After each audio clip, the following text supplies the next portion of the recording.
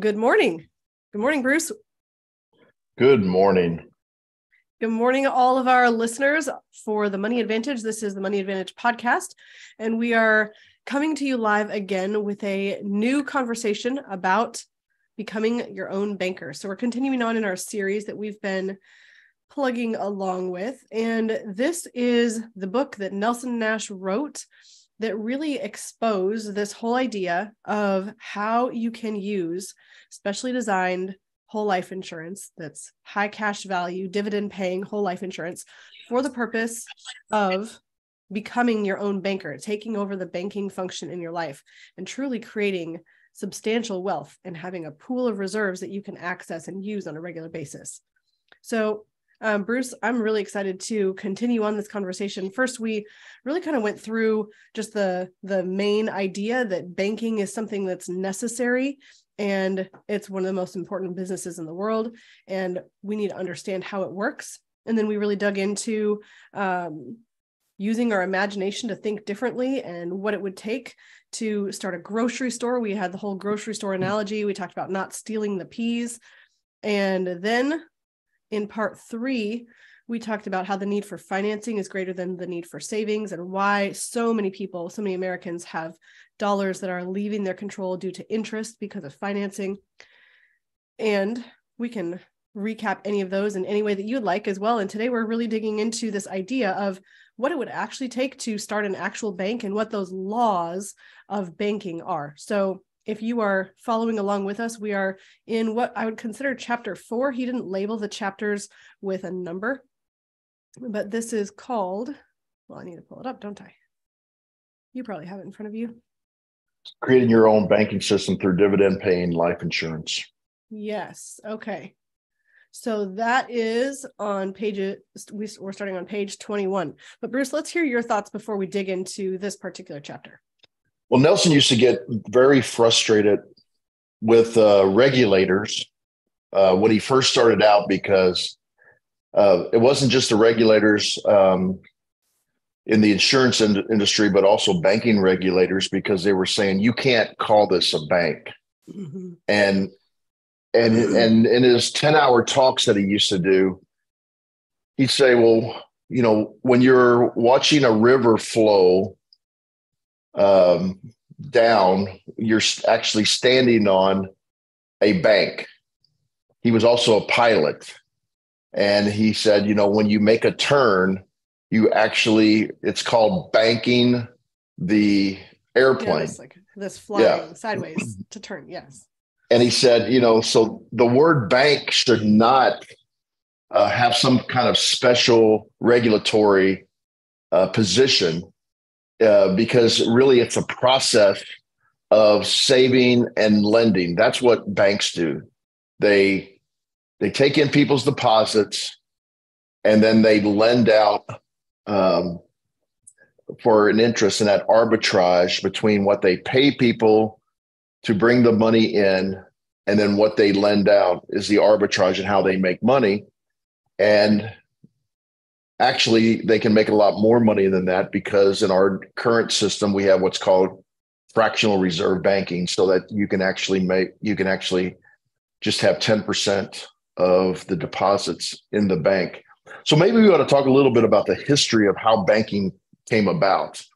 Um, banking came about because yeah because banking came about and actually currency came about out of a need because you know years and years ago there was just a barter system. You know, people just, you know, if you had two goats and you wanted some grain, you would say, okay, I'll give you one goat for a, a wagon full of grain. And that was that system worked as best as it could for commerce. But the problem with that system was if you didn't want a goat and you had grain, then you weren't going to be able to trade for that. Or I've got flour or I've got sugar and you have the grain, but I don't have any goats, then we need a different way to trade, right? Correct. And so, you know, there was a variety of systems, but, you know, precious metals came into being. I mean, there was all kinds of things. Uh, they use use grain, or they also used uh, shells and all kinds of things. But it wasn't until precious metals such as silver and gold came about that people were actually had something that almost everybody wanted and it was scarce. Well, the problem was as you collected this and you had no protection for yourself or very little protection, as the great bank robber Willie Sutton said when asked, Why do you rob banks? He said, Because that's where the cash is. Well, people would rob people of their silver and gold and they couldn't protect themselves. So these places, people would then say, Bring your silver and gold to us. We will protect it. And they would write out little slips and say, Okay, you have on deposit, you know, X amount of ounces of gold or silver. And they would give the people those slips, and those are demand deposits. So they would bring the slips back to get all or a portion of their gold or silver. And the, the ironic thing about this is because it was a protectionary thing, you actually had to pay a portion of your gold or silver for that extra protection. But then what what's what they quickly realized was that, that people weren't coming back for their gold and silver. They were just storing it there. So they decided to, to well, what we could do is we could lend out gold and silver to people and we can make interest on that that loan. Because people aren't coming back for this gold or silver. So that was the first part of fractional reserve banking because then they quickly figured out that well people are trading their deposit demand slips out in the public instead of their actual gold. So they'd say look i have a deposit slip here that says i have 10 ounces of gold in the bank, instead of going to get the 10 ounces of gold and then give it to a person, they would just give them the deposit, demand deposit slips. And that was kind of the first currency. Mm-hmm. So here, because it becomes this intermediary between the actual valuable substance. Right. And So they say, here, take this, and you could always redeem it at the bank. well, then the bank started figuring out we could do the same thing. We could just say, okay, we're not actually giving you the gold to lend out and you have to give us the gold back and interest. We're just going to write a, a, deposit slip and say, here, you can go use this because you have X amount that you're borrowing from the gold. And then that person could take it and they could say to, let's say they were um, going to construct a hotel in the Wild West, and they could say, here's the lumber yard. Here's our demand deposit so now that's how we're going to pay for it instead of bringing you actual gold and silver because you don't want to have this a lot of gold and silver with you right now either because it's kind of dangerous to have all this. People could rob you. So here's the demand deposit, and you could hide a demand deposit slip a lot easier than you could hide a bunch of gold and silver. That's the problem with gold and silver. It's so heavy to actually transport. Mm-hmm. And so then they would just take it as payment, knowing that they could go to the bank at any time. Well, then the bank figured out, well, we're charging people to bring their gold and silver. So a lot of people may not be using that as a service. So why don't we attract more people to bring gold and silver by actually telling them, we'll pay you to bring their gold and silver? So they started paying interest because they can make a more, a lot more to lend out. So that's kind of the history, a quick history lesson of, of banking. Well, so I think that's really helpful because it sets up the reason for this particular episode.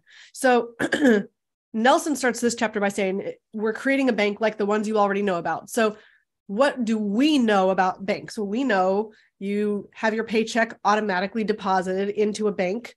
You probably have a debit card that you can access money that's in the bank and a credit card that you can access money against what you have in the bank, and you have a line of credit you probably don't go into a bank very often to get cash anymore unless you have kids and you're using money for kids or a few cash transactions here and there.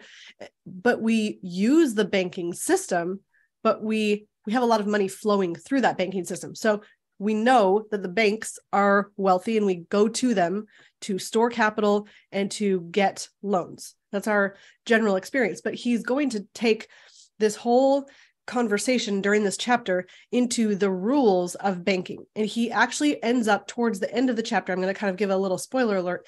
he says at the end, these are not man made rules, they're God made rules, and you disobey them at your own peril. So he's saying, yes, there's a banking system, but it's not just make it up as you go, figure out what you want to do, loan out as much as you want, have as many deposits as you want. There are laws of nature that confine the parameters of prudent banking in order to have a banking system that lasts for a long time. So he's going to unpack those through the chapter, and we're going to talk about those today. But these are the principles that you need in your own family banking system, in your own infinite banking system, if you are going to operate in a way that is sustainable for the long term. So you want to be a good and honest banker truly by understanding those principles. And I think it's really helpful to hear the history of banking because you could say, well, they were just really innovative and they just kept making decisions and, you know, figuring out what was the easiest next thing to do to help people and to also be profitable. They did, but there's also rules that they had to follow. So I think um, I feel like that's a really good segue into um, beginning the chapter. Does that work for you, Bruce? Yeah, absolutely. And um, the thing that Nelson used to hit home all the time, and I, and I, unfortunately, I think over the last 12 years or so, it's kind of lost its luster in a lot of people's eyes and may come back a little bit. And that is the fact that the first principle you need to understand is that you finance everything in your life. So a lot of people think, well, if I just pay cash for something, then I I I'm doing the greatest thing I could possibly do because I'm not incurring any interest on this cash uh, loan. And Nelson says, no, no, no, no, no, no. You're always financing things. You're either giving up the interest you could have made on that cash or you're paying interest. So some would call this opportunity cost. This is a concept that is um, lost on a lot of people. Um, and I once had a client of mine say, opportunity cost is like you lose the opportunity to make money on your money. And because you've put it somewhere else. And i'm like yes that's exactly right. So if you just think of opportunity costs as the op- you're losing the opportunity to make money on the money you use to purchase that then that's a good way of thinking it. The second thing he talked about in this particular chapter is he point people he's pointing people to an excellent article in the september of 1993 fortune magazine entitled the Real Key to Creating Wealth by Shawn Tully, in which he describes the concept of economic value add or EVA developed by Stern Stewart and Company of New York City. Tully said, understanding that EVA is easily today's leading idea in corporate finance and one of the most talked about in business. It is far from an, uh, far from the newest uh, concept. On the contrary, earning more than the cost of capital is about the oldest idea enterprise. So, in other words, everybody is always looking for capital to start a business or an endeavor or so on and so forth. That cost of capital comes in a couple different ways. It could be just the cost of your own personal labor. So you're you're doing your own personal labor, you're trying hard, you're saving up money, so on and so forth. That is actually the cost of the capital in one. Another cost of capital is somebody else sees that oh you're actually uh, have a lot of integrity you have a lot of character you have a lot of of um, drive. And so i'm going to give you my capital that i derived from some resource if you give me something else which will be the cost of how you develop your endeavor or your business that's the cost of capital. Well, people are only going to do that if they can make more on their business or in the endeavor than what they actually have to pay for the capital. It's and that's what Nelson says the oldest idea in, in the enterprise of business around because you would never this is one of the problems in a lot of businesses this and in, and frankly in our in the United States and many countries around the world now our cost of capital or our cost to borrow is going to actually be such a drag on the economy or on a particular business that you're never going to be profitable because you're continually having to pay the interest on it. And if you can't build the business up to make more than the interest, then there's no reason why you're ever going to be profitable. Mm-hmm. So EVA is a concept that everybody needs to understand. So, Bruce, I did not remember those two concepts from the chapter that I read, and I think you were in the one ahead. So that's um, a sneak preview of the future chapter, which is also very awesome and I think helpful for understanding. Um, we can cover both chapters if you want. I I prepared on um, the one that started on page twenty one. Um, I don't think we covered that one yet but we are this is all valuable information for anyone who is well they all kind of yeah they all kind of run together as far as they one absolutely concept do. or another and this is all extremely valuable information just for anyone who is wanting to manage and maintain your own strong stable fiscally responsible financial life and so um bruce as he kind of starts here um in the chapter he he talks also about you need to have he, he's going to work up to a prudent relationship between three different things capital deposits and lending. So i'm going to um, just kind of unpack that a little bit. So he says if you're going to start a bank like the ones you already know about so you're going to be starting a banking system where somehow you are going to need capital you're going to have deposits and you're going to have lending. So those are three components that make up this working relationship that needs to be in balance in a banking system. So, in order to start, he said, just like the grocery business, that you would have to have all this upfront capital before you can be profitable, it's even higher in the banking industry. And so, I'm just going to share a little bit from the book. But, Bruce, I know you have experience with people who've actually started real banks as well. And I'd like yes. to share that in just a second. So, he's, he says, first, you're going to have to go get some capital. It's going to be probably more like in the order of 5 million um, or more and that's going to have to sit somewhere which where are you going to set this money? In a liquid form probably in another bank somewhere. So you're storing up this capital over time and you're putting this capital before you can even start your banking business in a bank somewhere and that's sitting probably getting a really low interest rate.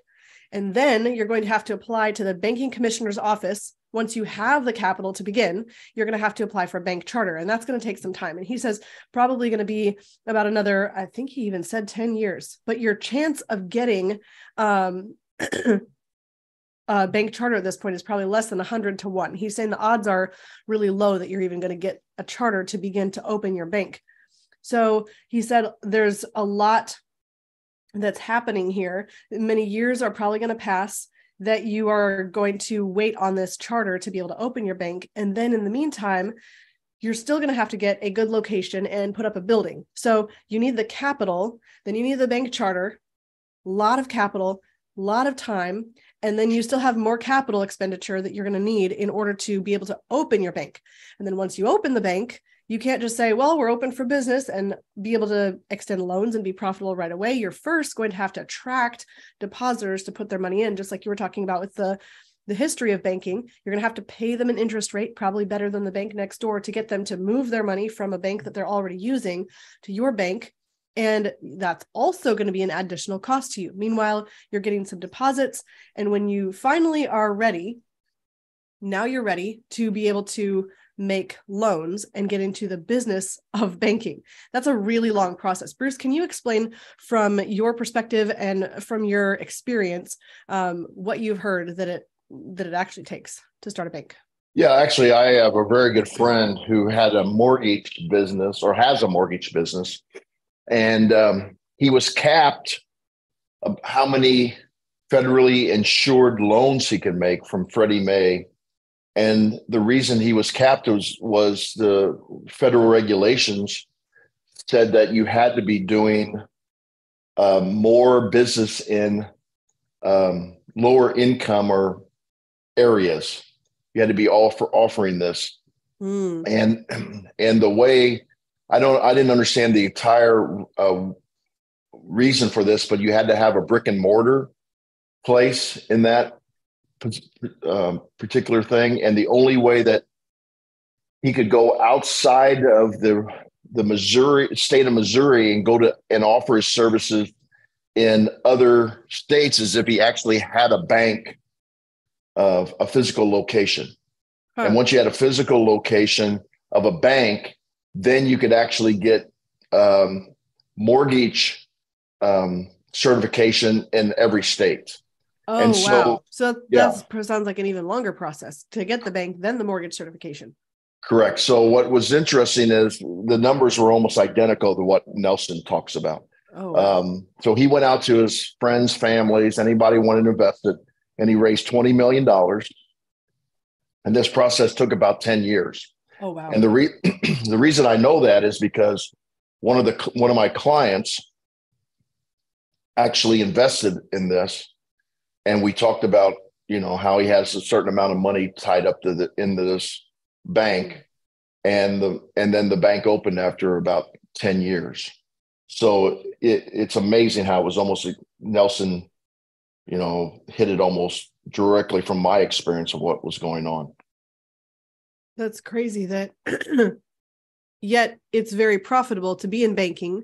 So it's profitable to go through that pain of building up the capital and the time in order to be able to get into and have the um the access point, almost like the uh prerequisite to be able to benefit from the profitability of banking. So, well, if well, Rachel, if we talk about you know kind of Nelson's premise of don't be afraid to capitalize and think long term, those are the two things that you really need to think about when you're doing an infinite banking type process. And I tell people all this all the time because they're they're like, well, I want to have access to as much money as I possibly can in the first year. And I say, well, that's that's great. And we're not going to go into the reasons why you should or shouldn't do that, but that's not thinking long term. And you're not capitalizing for the sake of building up your banking system. And a lot of people, the, the reason they want this is they don't want to have the lack of liquidity in the first year. But in any business endeavor, you're going to put capital in that you do not have liquidity for yes. that business endeavor. And that's where the EVA comes in, the economic value add, so that you're trying to say this cost of capital is a long range thing that I'm doing that's going to pay off later on. And so don't think of the lack of liquidity as being a bad thing. That's what every successful business has. Where if you're starting a restaurant, you know, you're going to have to have all the equipment, all the all the uh, certifications uh, by the health department, and all that's going to be cost. You're going to have to have com- computers. You're going to have to have, you know, uh, marketing to, to start your business, so on and so forth, and all that's lack of liquidity. So just think of it as being another business. When I talk to business owners, they, when I start to talk to them like that, I said, "This is just another business you're starting," and they and they get that lack of liquidity then. I think that's a perfect concept right here just because if you are thinking long term and not being afraid to capitalize you are you are being prudent so the opposite that you just described is the person who says i need max liquidity right away and i need to jump right to the investing and it's almost like well, if I save, that's a, oh, by the way, it's on the side, but I'm really not saving for the purpose of capitalizing anything for the future. I'm really just saving for the cursory check the box I saved. And now let me move that money straight from savings right into investing because investing is really what is exciting. And that's the thing that I really want to be doing. The problem there is that's not thinking long term, that's thinking about what's most immediate. And it is not considering capitalizing well. And so I think anyone listening to this could say, look, I don't even need to be thinking about the investment process right now. I just need to be thinking about how do I capitalize? You first need to capitalize your banking system so that you have capital to work with. So, Bruce, I love that you brought those up here. They're in the back of my mind, but I, I love that you just brought them straight out in the open. So then um, he talks about a book, Paper Money by Adam Smith, who says this a banker cannot make a loan unless he has a deposit.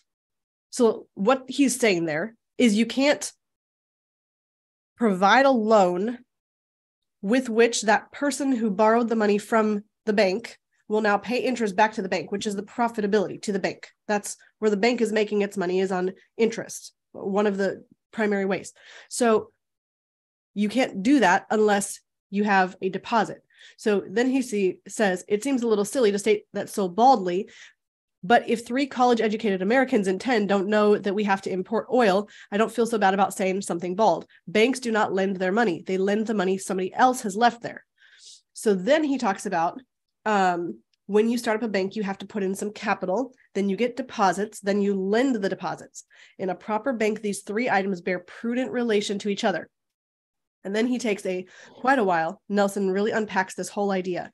He said if you are a little country bank with a capital of a hundred thousand, it would be very imprudent of you to loan Brazil 50 million. So you have to have a balance in the ratio of what you're lending out to what capital you have held within your bank. And so the prerequisite or the price that you have to pay in order to be profitable and making big loans is to have large capital deposits inside of your bank. So, um, Bruce, I would love to just kind of unpack that that example where he talks about the First National Bank of Midland. But is there anything else that you'd like to um, just talk about that that relationship and how it applies to us before we get there? Well, if people people often wonder, you know, how banks make money, and especially because there are there are uh, failures to pay loans back. That's all figured into the actuarial calculations. So, and that's why also why they, for really large loans, they're going to run your credit. And that's why credit card companies r- run your credit and they will actually give you an interest rate commensurate with your credit, or they will have terms and conditions that if you miss, if you miss a payment, they will actually um, jack up your interest that you have to pay. So if a person thinks about the fact that if they borrow a thousand dollars from a credit card company and they're paying it's and they're they're a poor credit person they're paying 29.99% then that means in the let's just round to 30 um, that means they're paying $300 back to the the lending institution the bank so now the risk to the bank is only $700 so they do it the next year, and now they paid another three hundred dollars. So now the risk to the bank is only uh, four hundred dollars. And so now, if they do not pay at all, the bank loses four hundred dollars. Well, they've already figured out in their total business model that if they make enough interest from other people, they can overcome that loss of $400 in that particular situation.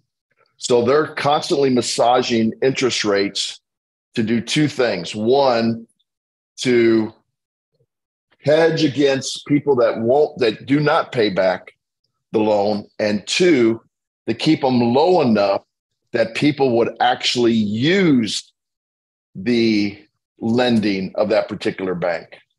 And so that is where the capitalistic invisible hand of the economy comes in. And that's what you're going to see right now. If we're in uh, the end of 20, uh, 2022, where there has been massive inflation because we did have years and years of, of low lending. So people just said, okay, I'm just going to grab a bunch of money and go do things with it. That caused inflation. And now the central banks are saying the only way to curb inflation now is to raise the interest rate so people are not as likely to borrow that money. And so this is the boom and bust cycle that the Austrians have always talked about. And it is caused by the central banks that are that are actually supplying money to the smaller commercial banks. And frankly, the larger commercial banks are part of the, the, the Federal Reserve System. So it's this constant balance of the interest rates that determines whether Americans want to borrow money or not. And that is that invisible hand that keeps, hopefully, keeps everything in check. It's also this big piece of how banks are making their money. And so they're balancing how the volume of loans with the amount of interest or the rate of interest that they're charging. And the banks are maintaining profitability through that. So let's talk about um, this example that Nelson unpacks here in um, in this chapter, and he's really talking about why you need this balance between capital that you're funding your banking system with, and then deposits and lending. He talks about this First National Bank of Midland, Texas, in September of 1983. So um, he said that at the time they had a loan portfolio of 1.5 billion and 26% of those so about a quarter of those loans were non-performing meaning they were not being paid back. So this is bruce you just had mentioned often there will be some loans that are maybe higher risk and that the bank knows that are not going to be paid back but 26% is a very high percentage of not of non-performing loans. So what happened was he said when this sort of thing happens someone has to support the situation which is normally the function of the stockholders. But the because of losses of stockholder equity that were 87% of its value so the stockholders equity lost 87% of its value down from 1.5 billion down to 12 million what happened is that he said if you have 12 million in capital that's all you have in capital because of stockholder equity. And then he said you have 1.5 billion in loans. That's a shaky bank. That's a bank that everyone is saying, I'm not sure that I can trust in this bank. The problem was then um, the public found out. And then when they did, First National Bank um, deposits decreased by 500 million. So what what was happening is the customers of the bank were saying, I'm not sure I can trust this bank to hold my capital and preserve it well that I can put my money in and I can get my money back out when I want it. This bank seems unstable. They're going underwater tremendously.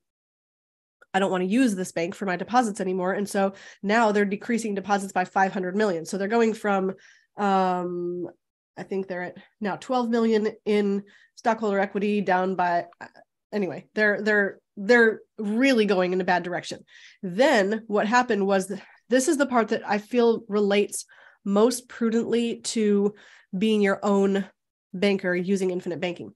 He talks about then the multiplier effect. What was really happening oh actually i'm going to skip over that for a second. What he ended up saying is it came out later that the the non-performing loans were all made primarily to ceos mm-hmm. and they were made because the, the CEOs, the, the, people on the bank board. Yes. So yes. the people who should have been making good decisions for the depositors and for the bank as a whole and for its long-term sustainability, they were taking loans to invest in oil, um, specifically a yes, they were investing in the oil business. They thought they were going to really make a lot of money, but they neglected to repay the loans. So I think that they had also mentioned there had just been a big energy crisis just a while before that. So the oil business then righted itself, returned back to normal, and the people who had borrowed the money lost both their oil business and their banking business. The point of all of this is that if you are running your infinite banking system and you are capitalizing, first, don't be afraid to capitalize. Put the money in first. Then you're going to have to continue making premium payments and making deposits. Then, if you're going to use that capital for loans, pay them back. Now, so you don't have to pay them back. They're going to charge you interest. They're going to continue to accrue the interest. And we say, yes, you have flexibility in the terms of you can pay back how you want, when you want, how much you want at a time. You can pay all in one lump sum or not. But the point is, if you don't pay back your loans, you're going to have a failing system. If you take out maximum loans, run up the interest, you're going to be in a situation where your infinite banking system is going to collapse. If you're just thinking about how can you put money in and then use it and not be a good honest banker and pay back those loans, you are going to be in a, a bad position. And so I think the the real point of this particular chapter is saying that you need to even if you are the CEO of your own banking system, you're not just using it as a um, withdrawal, a slot machine, a vending machine where the money's coming out, and you're saying, "Oh, I have this money in here. I'm going to go use it for all these things." You really need to be in a position of having a plan to repay and then actually fulfilling and following through and repaying those loans. Yeah, it's it's, it's simply to be an honest banker, and yes, there's flexibility, and yes, you need a place for windfall, which our um, podcast with David Stearns um, was one of the greatest windfalls when Nelson graduated from the earth and left his death benefits to, to his children. Um, but the fact of the matter is, you need to have a plan to pay back the loans or or your system is just going to collapse and nelson wanted that's why the beginning of the book nelson nelson's book is about the human condition and and people not you know necessarily doing what's in their best interests all the time and there's a variety of reasons for that. So he's constantly reminding people that you need to be an honest banker. And that's what it that is what it comes down to. And remember every time you pay back then that's just more capital that you have to use in the future. It's the same but it's the same way if you take a home equity line of credit which nelson says you could use you could do infinite banking with a home equity line of credit.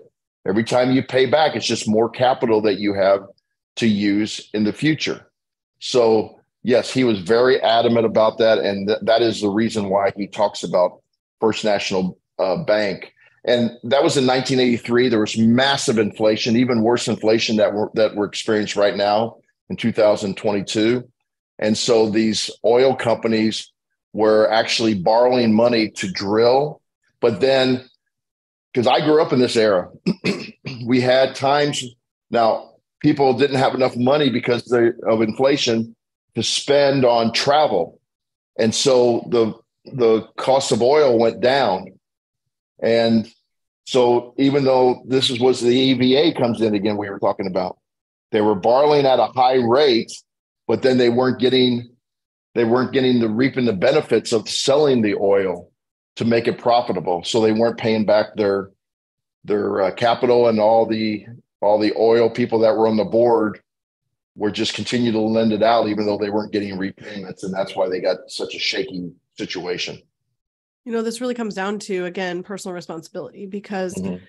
if you are going to run an infinite banking system, you need to be in a position of making wise investment decisions, not um, speculative ones or um, gambling with those investment with those loans that you're taking out you really want to be in a position that you are being a prudent investor that you're doing your due diligence on your investments that you know what you're doing and that you're investing well because when you invest well then you will be able to have that profitability to profitability to repay the loans and be able to maintain your banking system for a long time now, we're not saying that you can never use policy loans for um, going on a vacation or remodeling your house. I mean, there are definitely times that because you have access to capital, you can use it for things that would be considered more of an expense as well, not just an investment. But you need to be in a position where you're not. I think redlining maybe is a, a word I've overused in a couple of other situations. But if you're just say, say for instance, your your cash flow in your life, you is i don't know $100000 per year. That's the maximum dollars that you're not spending. You're saving that over in, into an infinite infinite banking system. And now you take a policy loan you have no extra cash available to be able to repay a policy loan. You don't want to be in that position. You really want to be able to have some additional cushion of cash flow dollars that you're making that you're not spending that is not necessarily being deposit straight into your infinite banking system. You want to have something that's additional that's available to repay those loans if you're taking them out for things that are expenses like buying cars or um, again home remodels weddings vacations things like that that's just wise thinking you want to make sure that you don't just have enough cash to pay your policy premiums you also want enough cash to repay policy loans Bruce, he does bring up fractional reserve um, banking. And I want to point this out because you had mentioned fractional reserve banking before, but this is very interesting. Um, that if you're not very familiar with fractional reserve banking, I would dig into it a little bit more. But generally, what happens is if the bank has $1 in deposits, they can loan out 10.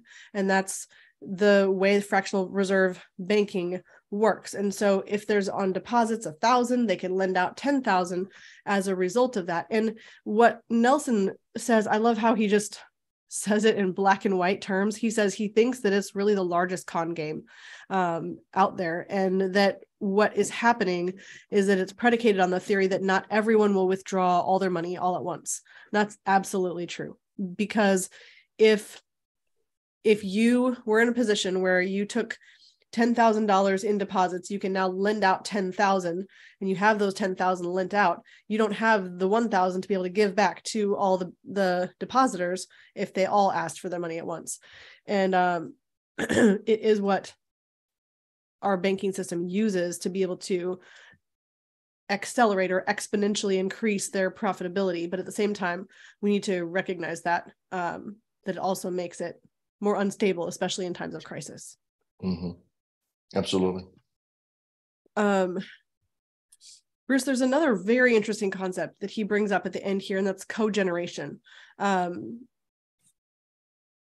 I have a few thoughts on that, but let's go ahead and share just what he says, and then let's talk about how that applies to our infinite banking policies. So he talks about cogeneration, and he unpacks this idea where he said if you were going to use if you were going to um, have a sawmill or a paper mill and you're taking lumber and turning it into or you're taking trees whole trees and you're turning it into either paper or into lumber that people can use for building projects you're going to have some byproducts some waste. And that's going to be things like the um, bark of the trees and all mm-hmm. the sawdust. And usually you would think of that as just waste products but he said what happens is you can actually take those waste products and you can burn them, which creates a fuel. And if you create enough fuel that can generate electricity, or enough heat that creates electricity, you can actually use the electricity from burning your waste products to generate to run your entire power plant. So he's saying you can make a self-sustaining system by using what most people would just throw away, burning that creating electricity for your plant. And then he says, you can, in fact, if you create more energy than what your uh, plant needs to be productive and to function, you can sell that energy into the general energy, public. Yeah, yeah, to the to the public through the um, regular energy grid. And he said, but instead of you know making all your own power lines to individual people's houses to sell your energy to them, it would make much more sense to just sell the energy to the power company, tap into their system, and let them distribute the additional energy that you've created. So he talks about that being co-generation and i think there's probably multiple applications for what that means for infinite banking but uh, bruce i'd love your thoughts on that first before i share mine yeah so what he's the way it works in infinite banking then it's like if you do not have the need to borrow against your policy uh, because you have everything you you're financing through it. You know the investments that you're you're doing. Well, you could then lend the money to somebody else that needs money. Um, and so a great example is hard money lending in real estate. You know, people will say, okay, um, I'm under current, I'm borrowing at 5%, and I'll give you this money and I'm just going to lend it to you at 12%. And so I'm truly becoming a bank, not just becoming my own bank, but becoming a bank that I'm selling to loans to the general public, just like if you're selling the electricity back to the power grid for them then to sell it to somebody else. So that's the basic concept of this as far as your own infinite banking system. I think um, could be possible as well, just in um, thinking this through and talking with Lucas yesterday, that if you're co-generating as well, it could also mean that if you're creating capital by putting it into your infinite banking system, and that's growing with interest and dividends, and then you borrow against it and you put it into a prudent, wise investment that you're also generating capital in that second investment so you're you're multitasking you're earning money in two places at the same time. I mean i think that there could be application where that could that co-generation could mean you're also generating capital in two places at the same time and you want more that you're producing from your investments that's more than sufficient to repay your loans. I mean i think there's um, a world there's a, a application i think that could possibly relate to that concept as well. Oh absolutely. I mean I, I was just saying that most people get the concept of the financing for themselves, using it for investments for themselves. Mm-hmm. But the, the third one that is really close to this is that you have excess money just like they have excess electricity that you could then just say, well, I'm just going to lend this to use it however you want to use it. And then because you're you're not monitoring that investment, you're just monitoring the payback of that. So that's how it's a little different between the other two. I think also, I mean, that's a really good connection over to the idea of using it for family banking. So if you have your own infinite banking system, maybe it's a policy on your mm-hmm. life and maybe your son or your granddaughter has a business idea or some reason maybe they want to go to college perhaps they could ask for a policy loan from your banking system and if they have a plan then to repay that loan at interest that may be a wise um, loan for you as your own banker to grant that loan. So it could be within your own family, it could be outside of your own family, it could be in your investor circles as well. But absolutely, uh, there are ways to be able to use that capital and lend it for the purpose of profitability beyond your own needs. Yeah, so I can give you an example. So my father borrowed against his cash value and his policy to buy a rental property and then my sister, who hadn't built up enough capital for her own down payment for her own home yet, was renting from my father. And then the rental payments, insurance companies allow this. The rental payments were not going directly back to my father, they were going directly to the insurance company nice. to pay off the loan. So so a lot of people don't know that that you can actually have a third party that can actually pay into somebody's um, life insurance policy to pay the loan back. We have this with several of our clients who allow their children or grandchildren to borrow from the family bank and do the same thing. They borrow from it to purchase a car, and then that money comes from the grandchild's bank and it goes directly to the insurance company to pay the loan back. I think this is just a profound exercise in imagination here again, because if you realize that by capitalizing your own banking system and by gaining capital by having deposits, by paying your premiums, that is the um, preface. It's the it's the um, it's the key. It's the prerequisite that allows your ability then to lend out capital. And if you have unlimited ability to lend out capital, then why wouldn't you want to begin by capitalizing and putting deposits in by paying your premiums? So I think it's the the applications, the ways that you can use it are far beyond what we normally think of in our everyday financial lives. But if you can imagine that there are so many other ways that you could lend out capital and have that those loans repaid that would add to your profitability in your banking system, then the ticket to being able to do that, the admission price is paying premiums and originally capitalizing that policy. So um, I think this was a fantastic just a, a demonstration of why you don't want to over leverage your policy why you don't want to loan out or borrow against 100% of your capital and and never repay your loans. That would be a very imprudent unwise decision. Um, and then really just talking about why it's really important to be in a position that you are capitalizing and and having those deposits. Bruce, is there anything else that you wanted to bring in from the next chapter? And we also have a question here in the comments that we can address as well.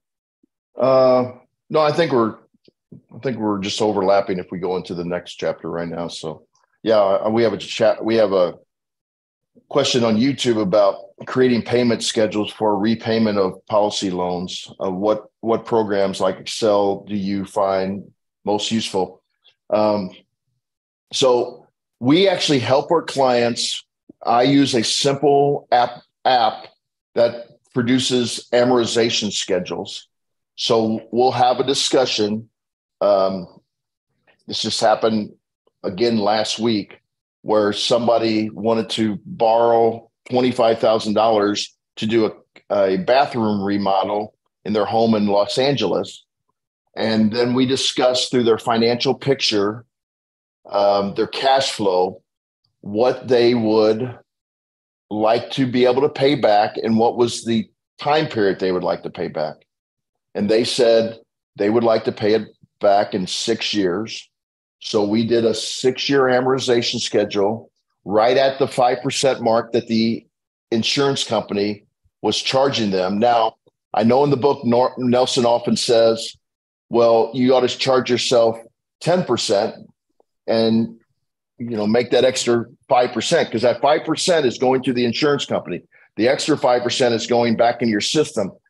And i've talked to nelson about this and it's a little harder to do it since nelson wrote the book in in 2000 it was a lot easier to overfund puas but because of the change in the laws of 7702 and the MEC limits uh, have changed since then it's harder for insurance companies to be to allow people to do that. It's not impossible, but it's harder. So we just tell people, um, you know, if if you haven't if you haven't fully funded your PUAs, you can do that. But you're really all you're doing is buying more PUAs. That's what everybody has to understand. What Nelson was talking about.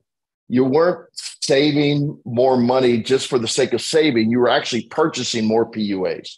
And so the answer, on that note, if you've already paid your full base premium and your full PUAs, every single year, there's no extra there's no room. space to put any more in than just Correct. what the interest that the insurance company charges. Correct. So this person that uh, asked us on YouTube, we use a simple app, determine the amortization schedule, determine what it works into the through the cash flow, and then we just set up a, a draft uh, from the person's bank, just like you would if you set up a car, you know, a car payment. It would just draft right out of your your bank. And you know, some people I understand might have multiple loans out there, and so on and so forth. Um, most insurance companies will not allow you to have separate drafts for each loan. So, in other words, if you started out with a $400 payment and you took another one and you wanted to make another $600 payment, you can't have a $400 payment on the fifth of the month and a, another $600 payment on the 15th of the month. You just have to do a $1,000 payment at one time. So I think that's what the this particular listener was asking. How do we track those? Um, we put it on the once we dis, we determine the amortization schedule and then we set up the ACH. We put it on the client to actually track it. Although we're re, you know we're reviewing every year.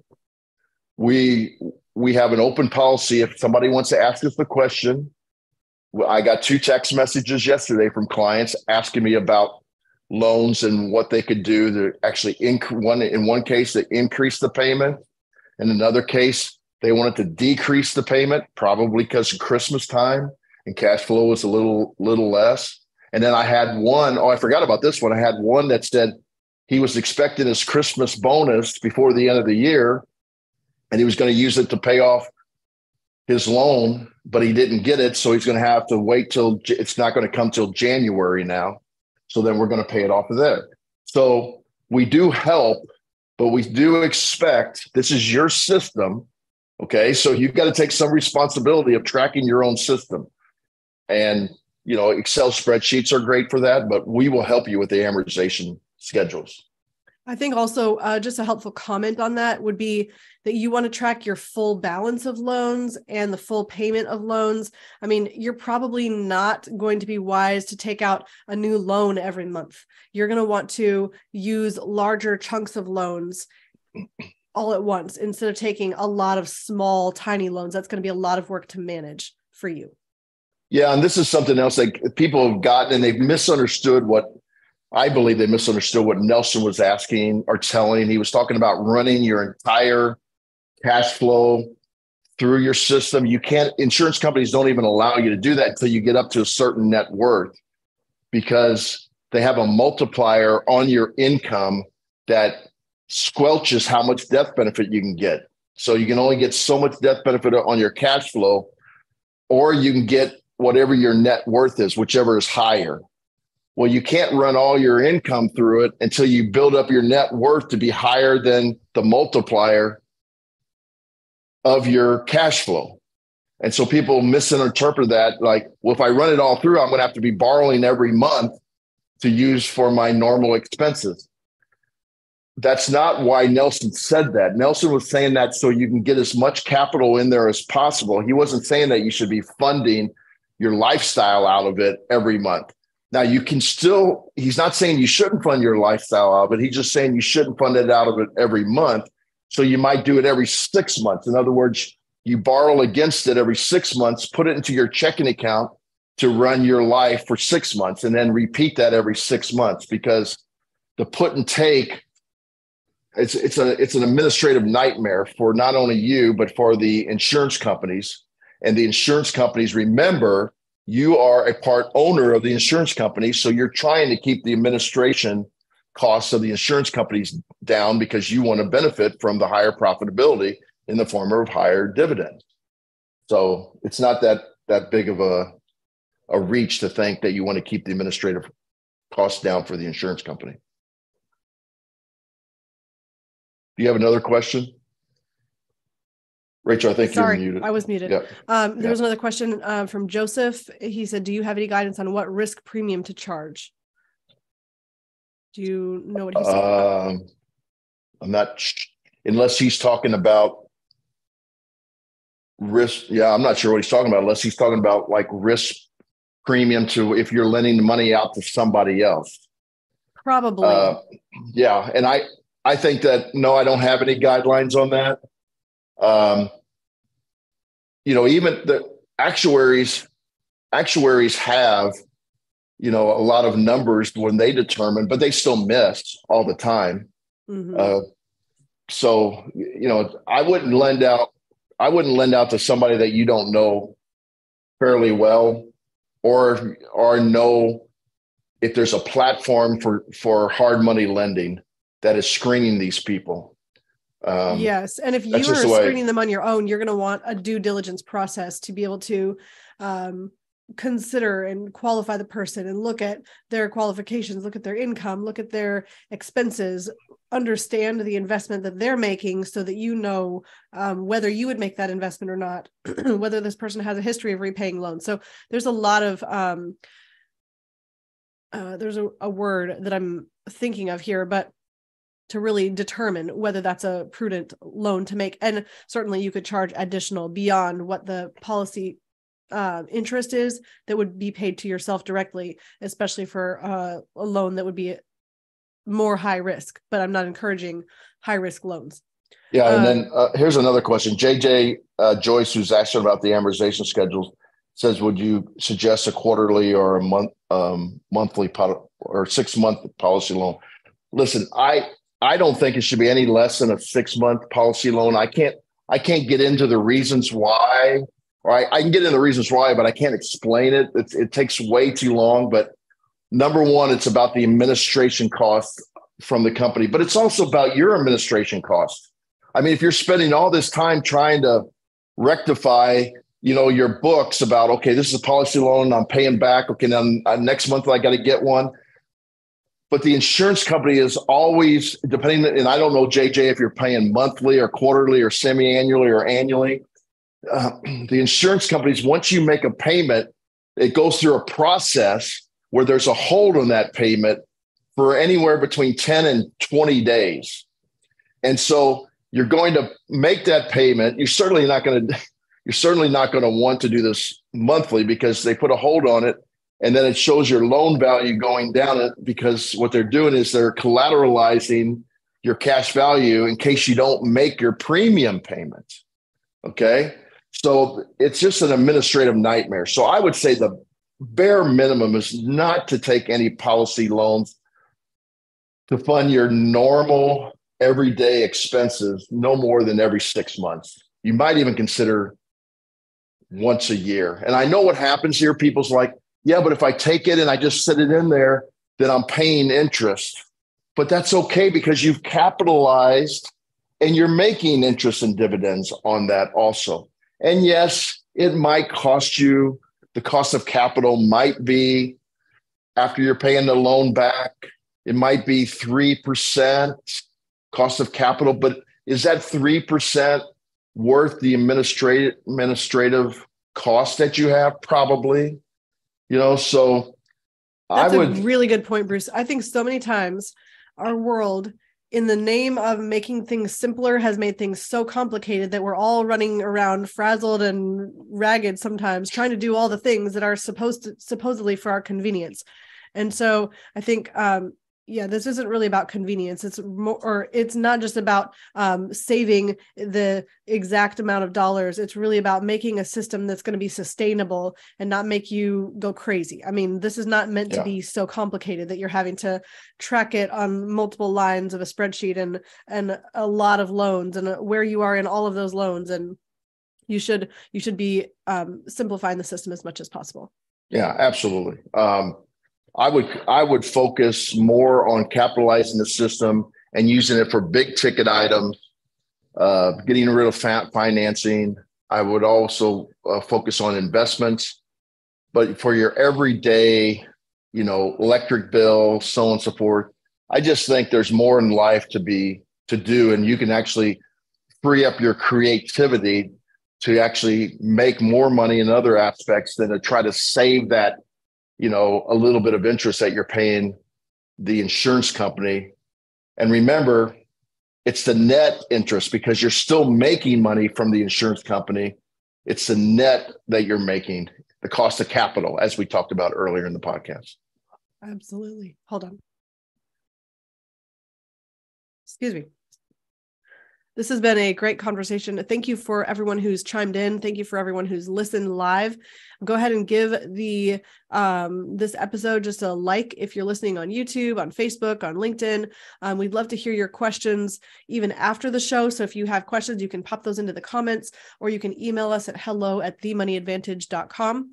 You can also um, subscribe to our channel if you want more content like this. We also, if you're listening live right now, we also have this available later on podcast. So you can go to iTunes, um, I think it's called Apple Podcasts now, Stitcher, um, Spotify, all the places you can get podcasts, and we're there as well.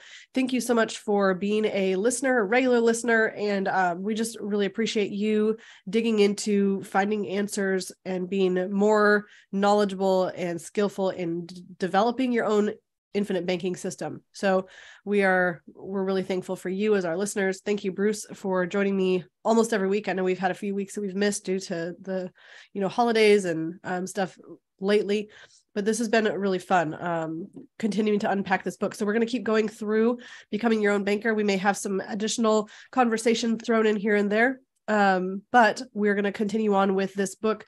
And if you are interested in implementing this in your own life, you can go to themoneyadvantage.com. You can book a conversation right now with an advisor who's going to be able to look at your entire financial picture, ask you questions about your goals, really see where you're at and where you want to go and figure out what the best most prudent way for you to begin or to add to your family banking system is right now. So we would encourage you to do that. And it's a great time to begin thinking about how to capitalize and think long term for the future. So thank you for being with us today. In closing, please remember success leaves clues. So model the successful few, not the crowd, and build a life and business you love. We'll see you next time.